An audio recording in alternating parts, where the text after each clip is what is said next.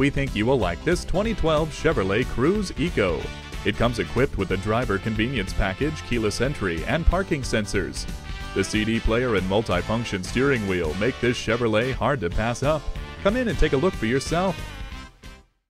That's Rockenbach Chevrolet. We're conveniently located at 1000 East Belvidere Road in Grayslake, Illinois, between routes 83 and 45.